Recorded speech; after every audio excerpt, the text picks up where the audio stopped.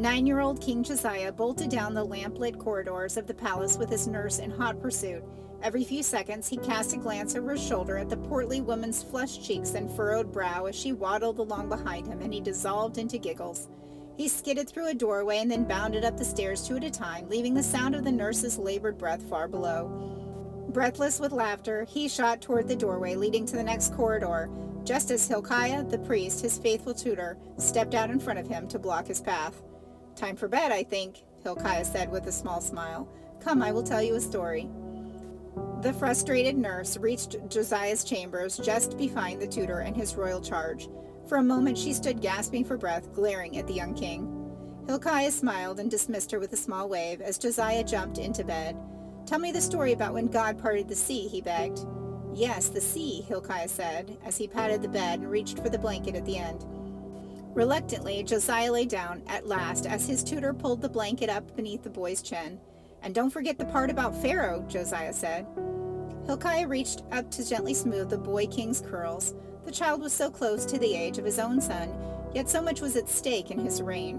What kind of king would he be? Would he follow after God like his great grandfather Hezekiah, or would he follow after false gods like his grandfather and father? And so Hilkiah gave Josiah the best chance he could. He told him stories. This night he told King Josiah the story of how the creator of the universe loved Israel, and of how, when her cries reached his ears from her Egyptian bondage, he forced Pharaoh to let his people go. He told Josiah of how God held back the walls of the sea so that his people could cross safely, and then let the water rush back when Pharaoh and his chariots followed in pursuit. The child's eyes grew heavy and then closed, the rhythmic rise and fall of his chest signaling that one more day in the shaping of the young king's heart had come to a close.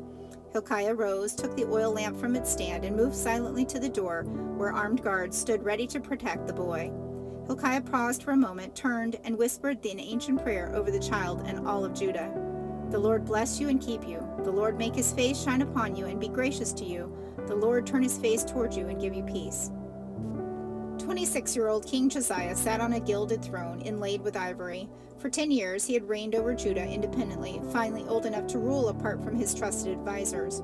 For the past six years, he'd begun working to reform many of the idolatrous practices promoted by his father and grandfather. Finally, he had enough funds to begin a much needed restoration of the temple. Now he eagerly awaited an update on the efforts from his trusted secretary, Shaphan. The distinguished official swept into the room carrying a large scroll and bowed low before the king.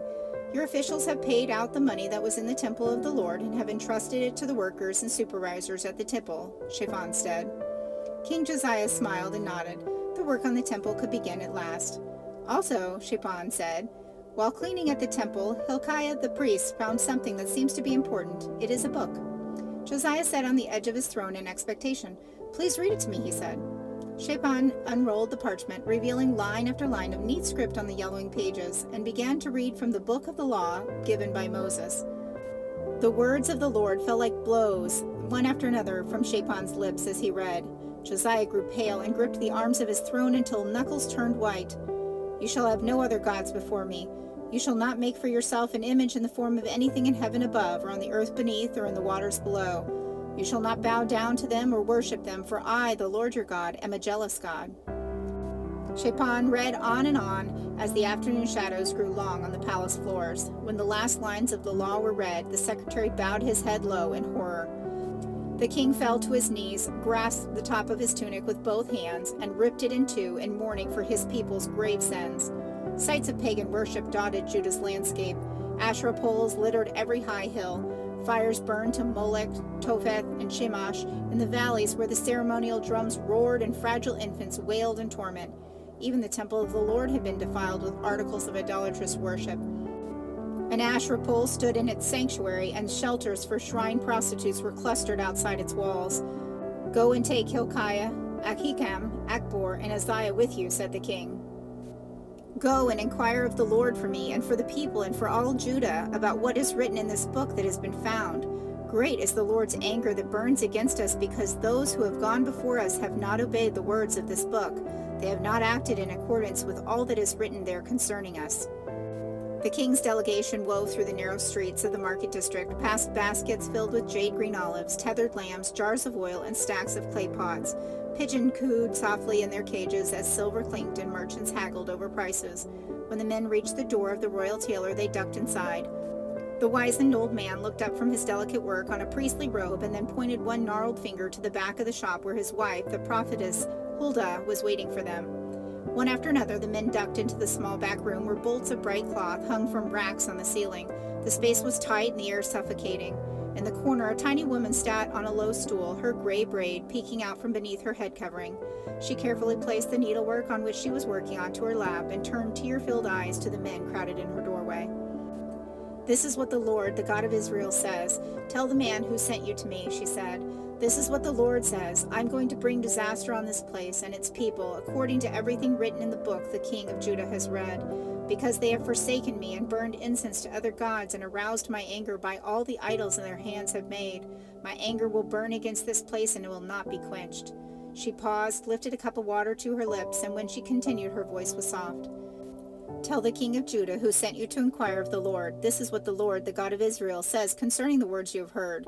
Because your heart was responsive and you humbled yourself before the Lord when you heard what I have spoken against this place and its people, that they would become a curse and be laid waste, and because you tore your robes and wept in my presence, I also have heard you, declares the Lord. Therefore I will gather you to your ancestors, and you will be buried in peace. Your eyes will not see all the disaster I am going to bring on this place.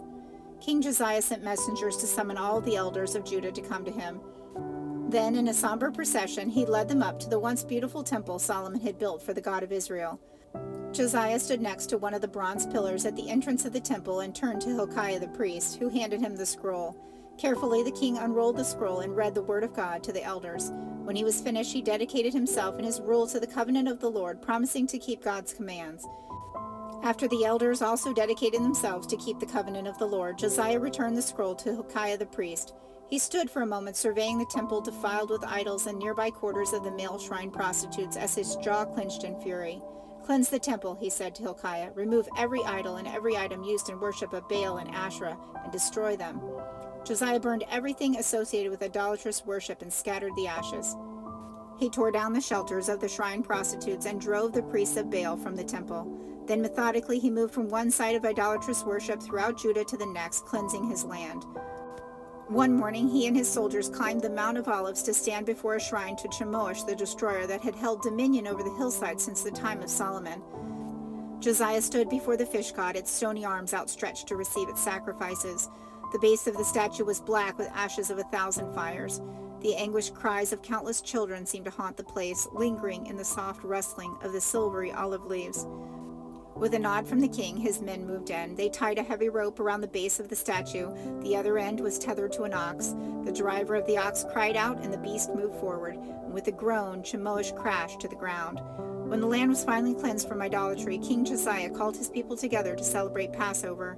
They roasted spotless lambs and ate bitter herbs with unleavened bread as the priest told the sweet story, their story, once again. They told the story of how the God of the universe had loved Israel and had chosen to make them a people of his very own. How he blessed their father Abraham so that all the nations of all the earth might be blessed through him. They told of their ancestors' cruel bondage in Egypt and how God forced Pharaoh to let his people go. They told the story of how God held back the walls of the sea so his people could cross on dry land, and how God led his people home, just as he promised. Compassionate Father, my heart sings with joy as I remember the stories of your deliverance of Israel. Forever you remained faithful to your promises to Abraham. Even when your people strayed far from your purposes, you mercifully preserved a remnant. May this Advent season remind me of the hope I have in you, that though my way at times may seem long and dark, your redemption is as sure as the promise of the dawn. Rise in my heart anew, root and offspring of David. Shine forever bright in my darkness, beautiful morning star. Amen.